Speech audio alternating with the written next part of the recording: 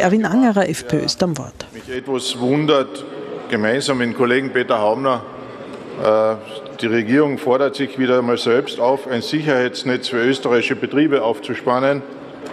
Aufgrund der besorgniserregenden Covid-Entwicklung werden aktuell neuerliche Beschränkungen des öffentlichen und wirtschaftlichen Lebens diskutiert.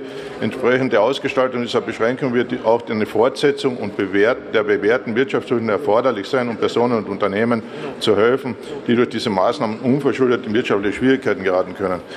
Bundes die Bundesregierung wird ersucht, möglichst rasch geeignete Unterstützungsmaßnahmen für die österreichischen Betriebe zu präsentieren, um so Wertschöpfung und Arbeitsplätze zu sichern. Peter, komm, kannst du nicht bitte aussagen und das erklären, was, was ihr euch da jetzt selbst auffordert? Was ist da jetzt geplant? Was, was steht an? Kommt morgen der Lockdown oder ist, äh, was ist los? Also wir verstehen diesen Antrag nicht. Der muss ich ehrlich sagen, ist für mich nicht ganz erklärbar, dass ja Bundesregierung selber auffordern muss, äh, Maßnahmen zu überlegen und zu präsentieren, dass wir die Arbeitsplätze und Unternehmen sichern. Vielleicht tust du das noch an. Und vielleicht, Frau Kollegin Götze, hätten Sie sich ein anderes Thema aussuchen sollen als die Gemeinden und den Finanzausgleich äh, zum Thema Budget. Weil was sagt denn, den werdet ihr vielleicht auch kennen, der ÖVP-Gemeindebund-Vizepräsident Johann Hingsamer zu diesem äh, Budget?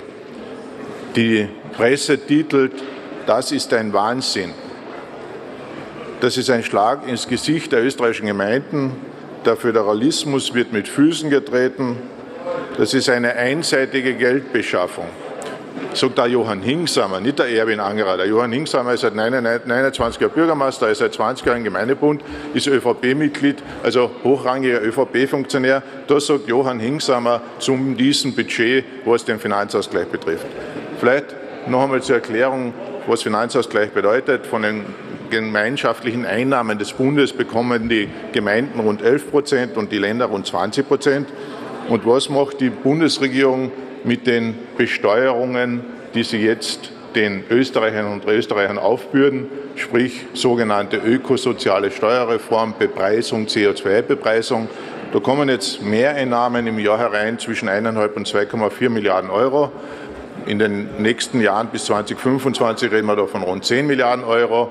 Und der Bund geht her und sagt, das ist Geld, das nehmen wir ein nur für uns.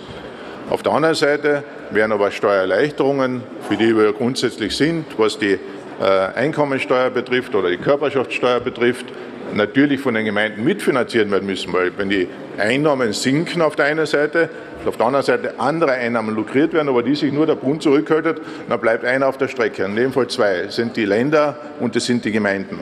Und das ist nicht nur ein zusätzlicher Schlag für alle österreichischen 2000 Gemeinden, die finanziell natürlich geschädigt sind durch, durch diese äh, Corona-Krise und äh, einen massiven Einnahmenausfall gehabt haben in den letzten Jahren, sondern es ist auch wieder ein Schlag in das gesamte Sozialsystem und jeden Einzelnen, der draußen betroffen ist. Weil die Gemeinden finanzieren mit bei den Krankenanstalten zu 50 Prozent. Die finanzieren mit bei der vorschulischen Erziehung, sprich die Kindergärten, das sind die Kindergärtenbetreuer. Die finanzieren mit im Sozial- und Pflegebereich. Und allein in diesem Bereich sind es fast 5 Milliarden Euro, die die Gemeinden ausgeben. Und da fehlen ihnen natürlich jetzt diese rund 5,5 Prozent bei den Einnahmen. Also es wird auch in diesem Bereich jeden Einzelnen treffen. Und das ist auch wieder ein Schritt in eine völlig unsoziale Politik, die hier gesetzt wird von dieser Bundesregierung.